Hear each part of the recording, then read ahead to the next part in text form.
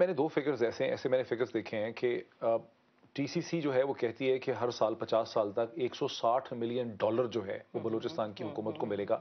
जबकि जो दूसरा प्रोजेक्ट है वो कहता है कि उस लेवल पे अगर काम किए तो दो इशारिया दो billion dollar Balochistan 2.3 three. Billion dollar जो है वो एक्रू करेगा। ये तकरीबन ये तो बहुत बड़ा फ़र्क है। ये तो 20 गुना 20 गुना का ये फ़र्क बनता है प्रोजेक्ट में। ठीक है? और 100 मिलियन डॉलर है ये तो कुछ भी नहीं है। अगर आप अपने सारे रिसोर्सेज दे दें। राइट मैं आपको एक दो तीन बातें मैं इसके पर पहले क्लैरिफाई कर दूँ एक तो ये कि जो हमारी फीजिबिलिटी रिपोर्ट है, ठीक है, वो ई एल फाइव में जो प्रोजेक्ट हम डेवलप कर रहे हैं, जो रिसोर्स हमने आइडेंटिफाई किया है 5.9 बिलियन टन का, जिसमें से माइनेबल 2.2 बिलियन टन और है, उसकी फीजिबिलिटी हमने बनाई है उसकी हमने जो दुनिया की टॉप टॉप थ्री कंपनीज़ में से जो इंजीनियरिंग फर्म है। उसको कॉन्ट्रैक्ट किया था to develop a feasibility figure देखिए ना right that's what I am saying जो तो, uh, मैं आपको जो फिगर्स बता रही हूँ फिगर तो वो जो मैं आपको फिगर्स बता रही हूँ वो साठ मिलियन डॉलर और दो इशारिया तीन बिलियन डॉलर में कम से कम बीस बीस का फ़र्क है जी मैं आपको यही बताना चाह रही हूँ कि जो मैं आपको फिगर्स बता रही हूँ उनका मैं आपको सोर्स बता रही हूँ कि this is how we have come to these figures through this feasibility from long term long term pricing not spot pricing ठीक है?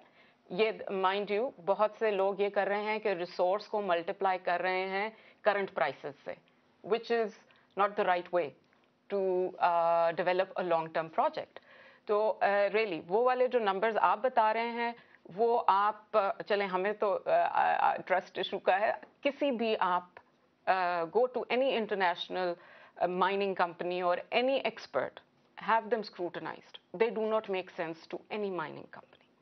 What I am telling you right now is that we have invested 220 million in a feasibility report.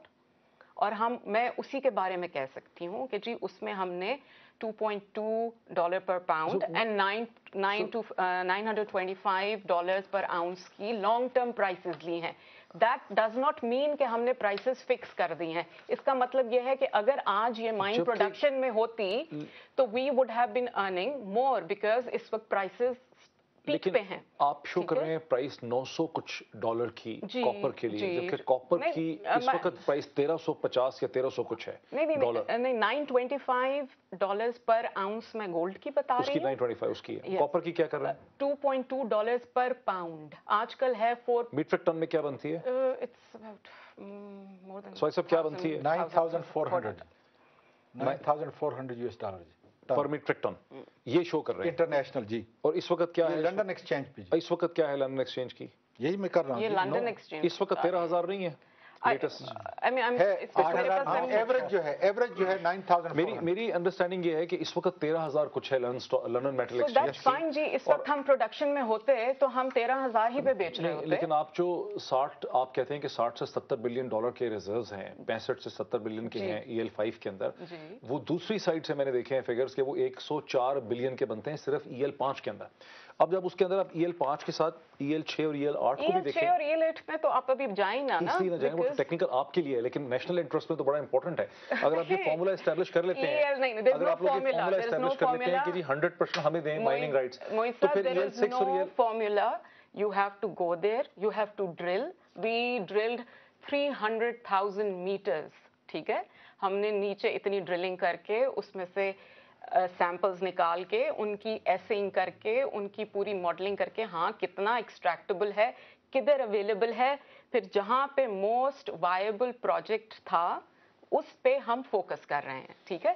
तो आप नहीं, ये नहीं और मैं आपको बताऊँ। हमारा तो क्वेश्चन है कि पाकिस्तान के लोगों को और बलोचिस्तान के लोगों को क्या मिलेगा? मैं आपको बता अगर उनको सिर्फ़ 160 मिलियन डॉलर मिलने हैं देखिए नहीं नहीं एक मिनट स्वाति सब let me finish let me finish देखें 52 percent of revenue from this project, okay, will go to government of Pakistan and government 52 percent. 52 percent. जी स्वाति जो कि 25 फ़ीसद इन्वेस्ट है इन्वेस्टमेंट है प्रोडक्शन पे कंस्ट्रक्शन में एक्सप्लोरेशन में गवर्नमेंट की कोई रिस्क इन्वेस्टमेंट नहीं है सर 110,000 पर डे और अगर ये निकालते करते निकालते हैं।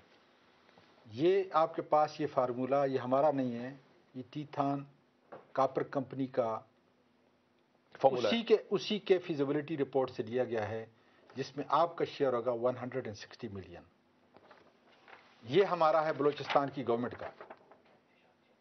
और बलूचिस्तान के गरीब लोगों का और पाकिस्तान के गरीब लोगों का जिसमें अगर हम 110,000 पर डे निकालते हैं तो हमारा नेट प्रॉफिट जो होता है वो 2.3 बिलियन यूएस डॉलर है।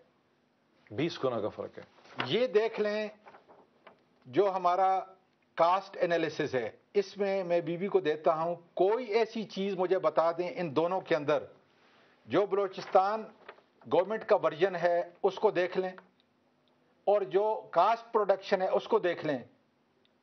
तो मैं फिर अपनी हुकूमत को या अपने सेनेटर को कह, कहूँगा कि मैं आज हार गया हूँ। पाकिस्तान के लोग अपना केस हार चुके हैं, और मैं इसको रेप अप कर लूँ। अगर ये दोनों चीज़ें दुरुस्त है अपनी जगह पे। तो मेरा ये ख्याल है कि पाकिस्तान और पाकिस्तान के इतने बड़े असासे को जिसमें जिसको मैं कहता हूँ कि it is one of the element of national power मैंने तो यहाँ तक कह दिया है और ये ये इन ताला अट्ठाईस तारीख को मैं स्पीच दूँगा इसके ऊपर सेनेट के अंदर कि अगर हमने अपने न्यूक्लियर एसेट को जो है सस्ते दामों कहीं नहीं बेचना तो हमने इन ताला इस प्रोजेक्ट को सस्ते दामों नहीं बेचना।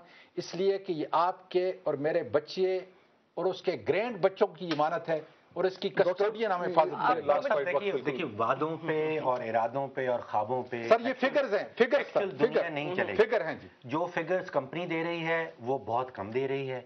और जो दूसरी तरफ़ से फिगर्स आ रही हैं वो एक्सैजरेटेड हैं। जो रियल फिगर्स हैं उन दोनों के दरमियान दरमियान में कहीं होंगे। दरमियान में होंगे। देखिए नवंबर 9 को जो गोल्ड है वो अपनी हिस्टोरिकल टच किया और 1421 पे चला गया। अब 1421 पर आउंस पे आप अगले छप्पन साल गोल्ड को नहीं देख सकते। एनालिस्ट जो हैं वो एक ट्रेंड लाइन निकालते हैं कि आपकी ट्रेंड लाइन आएगी हज़ार पे आएगी इन्होंने शायद 900 पे निकाली है हम्म। हमें 1100 पे निकाल लेंगे। वो 1421 पे नहीं निकल सकती। नवंबर 11 को एक कॉपर ने हिट किया हिस्टोरिकल हाई हम उस प्राइस पे अगले छप्पन साल का तांबा नहीं ले सकते। लेकिन हकायक ये हैं कि मूडीज़ ने इस वक्त पाकिस्तान को बी की रेटिंग दी हुई है। यानी कि जो कंट्री रिस्क है पाकिस्तान का वो बी थ्री पे है जिसको जंक बॉन्ड रेटिंग रेटिंग कहते हैं। इसमें हमें तीन इशारिया तीन बिलियन डॉलर की इन्वेस्टमेंट चाहिए। ना बलूचिस्तान के पास ना फेडरल हुकूमत के पास इस वक्त अपनी तनख्वाहें देने के लिए पैसे नहीं है। अब जुलाई से दिसंबर तक पूरे मुल्क में जो फॉरेन डायरेक्ट इन्वेस्टमेंट हुई है छह महीने में वो आठ सौ अट्ठाईस मिलियन डॉलर की है। लेकिन ये इन्वेस्टमेंट तो नहीं है। अब देखिए ये टेक्निकली इन्वेस्टमेंट आप साढ़े तीन बिलियन डॉलर अट्रैक्ट इस मुल्क में नहीं कर पाएँगे। जब पूरी दुनिया मिलके पूरे मुल्क में 828 मिलियन छह महीने में लगाती है ये तीन इशारिया तीन बिलियन डॉलर की इन्वेस्टमेंट हम अपने ओन पे रेज नहीं अच्छा, कर मेरा ख्याल है कि ये डिस्कशन जो है ये यकीन इनकंक्लूसिव रहेगी एक सेशन के अंदर। हमें इस पर मजीद बहस करनी चाहिए मजीद इस पर हमें प्रोग्राम करने चाहिए। आप लोगों का हमें ज्वाइन करने का बहुत शुक्रिया। डॉक्टर फारूक सलीम साहब आपका भी बहुत शुक्रिया। सामिया अली आपका भी बहुत शुक्रिया। आज़म सवाती साहब आपका यहाँ तशरीफ़ लाने का शुक्रिया। इसी तरह अहमद दुरानी साहब जिन्होंने हमें फ़ोन पर ज्वाइन किया। नाजीन इस मुख्तर बहस से यकीन ये टॉपिक बहुत पेचीदा है। टॉपिक बहुत पेचीदा है और इसमें लोगों का इंटरेस्ट भी बहुत ज़्यादा है। ज़रूरत इस चीज़ की है कि इसको तफसील से देखा जा सके, देखा जाए कि नेशनल इंटरेस्ट किस तरह से सर्व होता है। क्या नेशनल इंटरेस्ट मौजूदा कॉन्ट्रैक्ट में सर्व होता है या नेशनल इंटरेस्ट जो है, वो किसी और किस्म के कॉन्ट्रैक्ट के अंदर सर्व हो सकता है, किसी और किस्म के तरीके से सर्व हो सकता है। इसे ज़्यादा गौर से देखने की ज़रूरत है। बहुत शुक्रिया।